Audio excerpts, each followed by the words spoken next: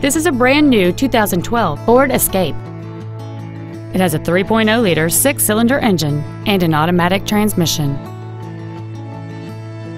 Its top features include heated front seats, a low tire pressure indicator, 100% commercial-free Sirius satellite radio, aluminum wheels, and traction control and stability control systems. The following features are also included air conditioning, cruise control, an auto-dimming rearview mirror, a six-speaker audio system, front fog lights, roof rails, dusk sensing headlights, an anti-lock braking system, side curtain airbags, and the leather seats provide great support and create an overall luxurious feel.